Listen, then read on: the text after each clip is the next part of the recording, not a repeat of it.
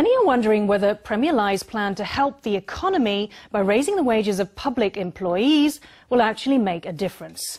One National Taiwan University professor believes that most civil servants and teachers would save most of the wage hike they receive and inject relatively little of it back into the economy.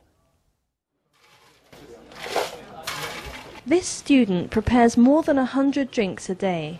Her boss already pays her more than the minimum hourly wage but in the future she may get paid more. The government has increased wages a little, so I think consumers will increase the amount they spend. I think that will definitely happen.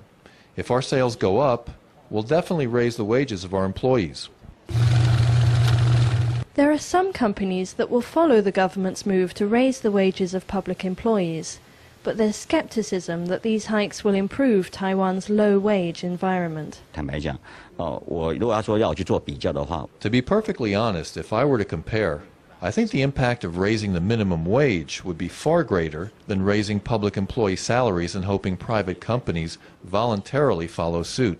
Associate Professor Hsin Ping-lung of National Taiwan University also doubted that the public employee pay rise can stimulate domestic consumption.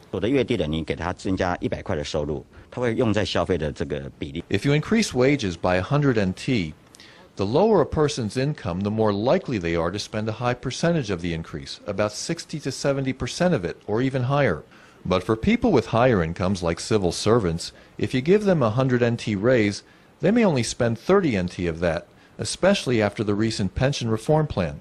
Many working civil servants see that their retirement benefits will be cut and are increasing their savings at this point in time.